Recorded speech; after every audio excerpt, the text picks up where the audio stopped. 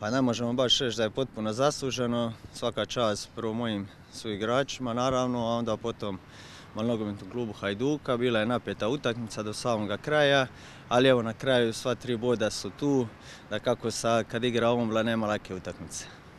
Trenutno je Ombla četvrta u poredku, sad koliko realno da možete dohvatiti to do igravanja?